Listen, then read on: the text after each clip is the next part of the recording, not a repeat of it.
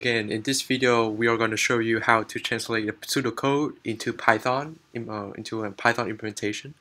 And of course, there are many ways to do that, but um, in this video, I just would like to suggest a way that I normally do use to um, to translate. Um, and if you come up with uh, better ideas or having any uh, better system, then feel free to share with us. I will be very grateful for that. Okay, let's jump right in. Um, so, oh, and for this video, I would use the uh, pseudocode for merge that you guys have learned for um, 2.1 as a uh, to as a demonstration. Um, so, first thing first, the I think one of the trickiest thing when translating a pseudocode into Python is that indexing. So here in the pseudocode, it assumes that uh, our index starts with 1, but actually in Python, um, as you already knew, uh, Python starts indexing from 0. Um, and yeah, although it's just a, a little different, but um, it would be very complicated um, as we translate uh, these line of code into Python because one thing might overlap the other and um, yeah, all sort of complications. Um, so I suggest, well, I, I think that in order to uh, translate it, the most important thing is to know what the code is actually doing um, and to understand it, meaning uh, first of all, of course, understand what each line is doing. So, um, what the intentionality behind each line.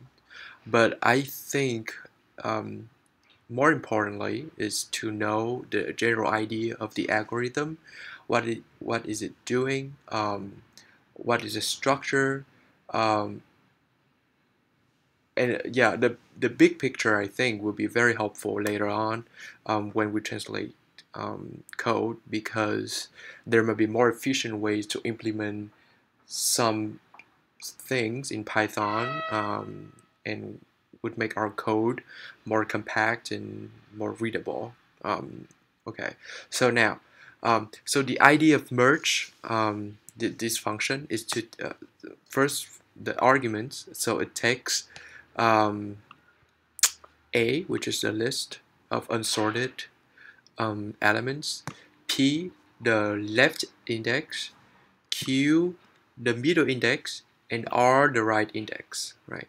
So the ideas here uh, is first the bigger the big picture uh, that merge is trying to do is first separating um, A into two subsets L which stands for left and right subsets so two subsets and then it will put these two subsets together um, and merge it together uh, to make a sorted um, A okay so fortunately, we have a figure um, provided by the author. So, um, so here we have a list of uh, a list A, and we want the left index is nine. Right, you can see from here. The right index is 16, and the middle index, uh, it says here. Oops, sorry, is 12. So here. So the, the algorithm, um, what is trying to do is to split these things into two subsets.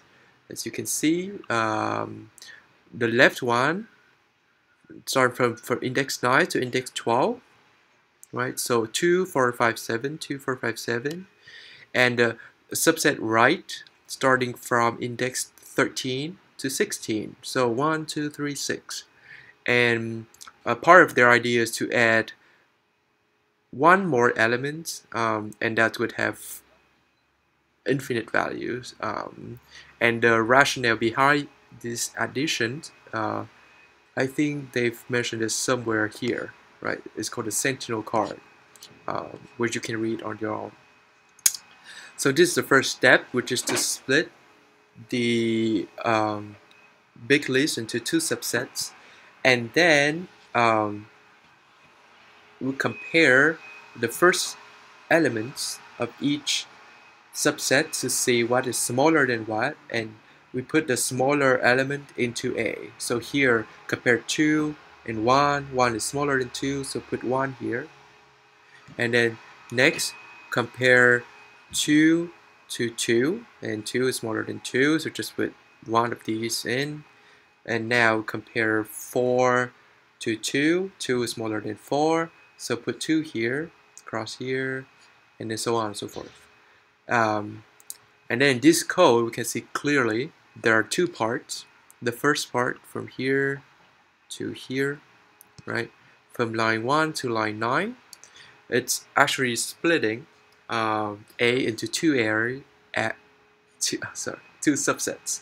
Uh, the subset left and right, and then here it adds um, the, the, the infinity element um, to the last entry of each subset.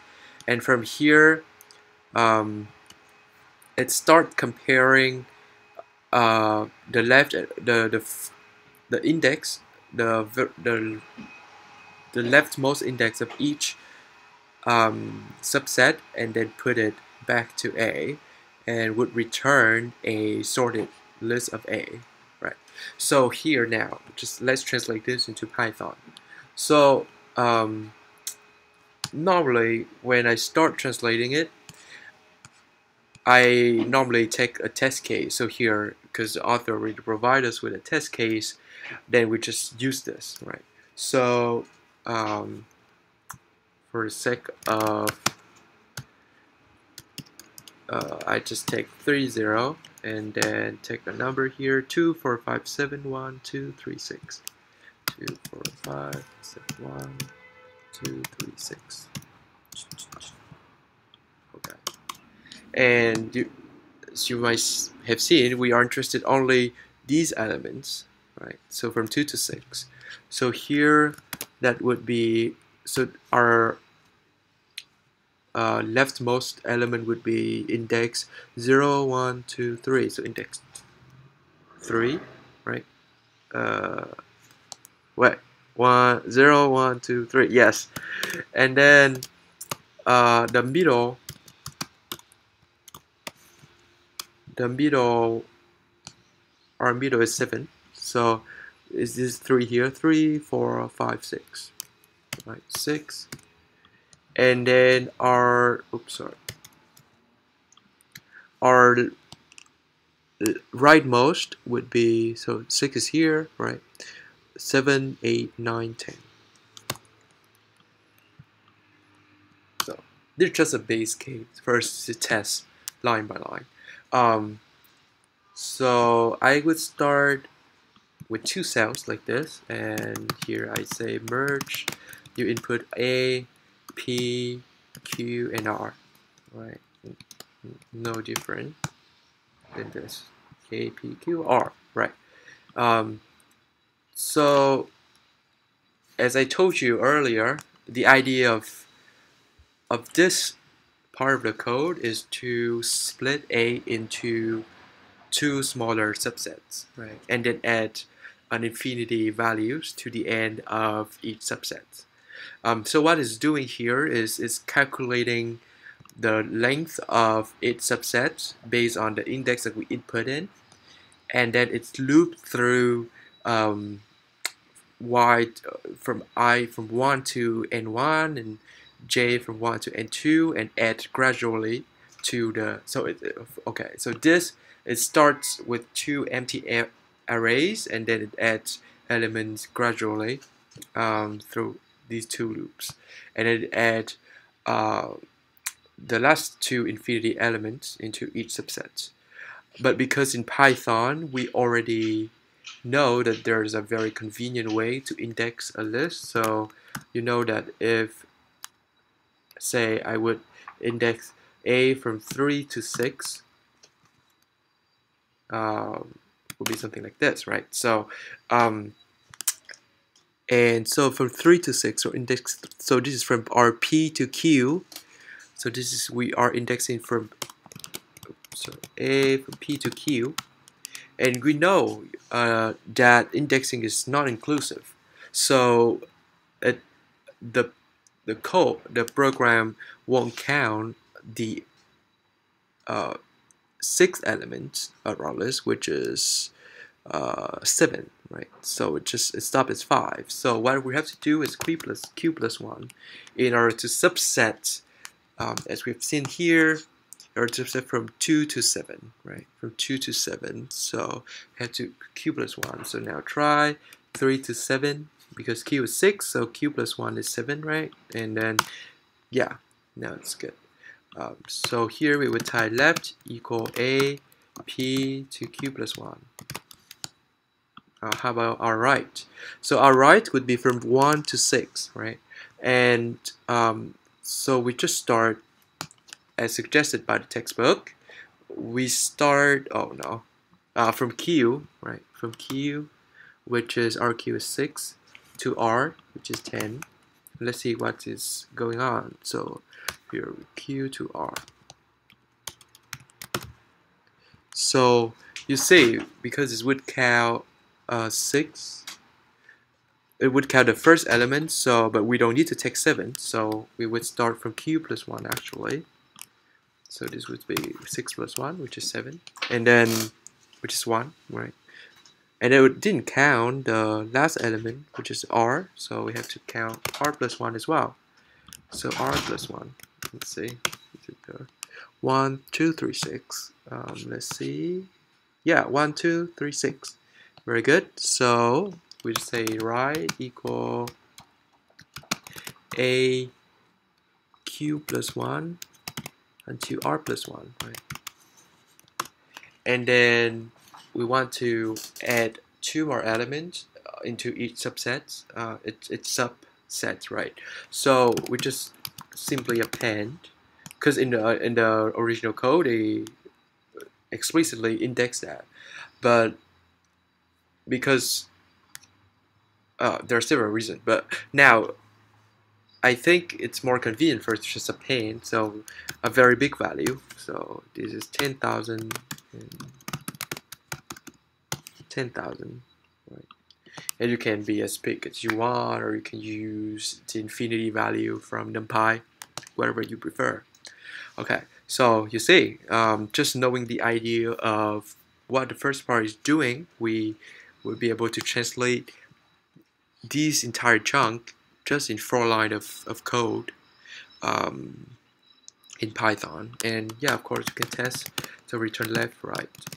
right. So now I would try merge uh, list of A, P equals 3, Q equals 6, 10 to see what it's returned. Yes, so 2, 4, 5, 7, infinity, and 1, 2, 3, 6, infinity. Yeah, so it works. So, okay, done for the first part. Right. And now for the second part, um, let's see. So the second part, it would initialize um, the index to consider for, this is for the left subset, this is for the right subset, right? Oh, I don't know how to write an R. Oh, very good. That's an R. Um, so, and because it started here from 1, but we know that in Python we should start from 0. So here we just simply type i equal, right, it's just initializing.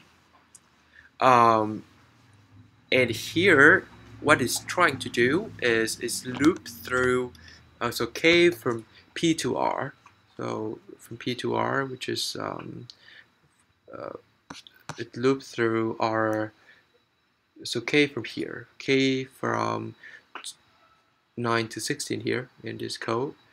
Um, and here it would be loops through 3, right? So p is 3, so for k in range of 3 to r, which is here, which is 10, but Right, so index 10, well you already know that it's not inclusive. So we have to go from 3 to 11 and that would mean from P to R plus 1.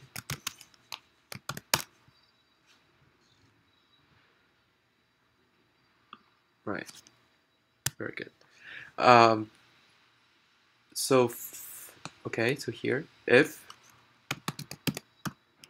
yeah, here is the same thing, left, right j, then ak would equal to left i, i, in, increase it by 1. Oh, you can do this. Though the other way can work also. So, so and then else, uh, ak would be right, j, right, and then j plus 1, right. Here we go. And then we just return a. Now let us test. So merge um, a rp equal 3 q equals 6 and r equal 10 let's see what is going on uh 1 2 2 3 4 5 6 7 yes so that's what it's supposed to be doing yeah 1 2 2 3 4 5 6 7 so okay we're done so um yeah so when you translate a pseudocode into Python, try to find concrete case where you can test it directly so that it won't be confusing, trying to figure out what index you should use. Um, and yeah, and try to be concrete about what the variables are. So um, here I wrote it down just to not mess it up. Um, and so from the concrete case, you can infer the general cases as I'm doing over here. Um, and you should test this code chunk by chunk don't try to put everything together at once and then it will be very confusing um, to figure out where the bug is so okay uh, good luck and um, if you have any further questions feel free to email us or come to any of the available office hours would love to see you over there okay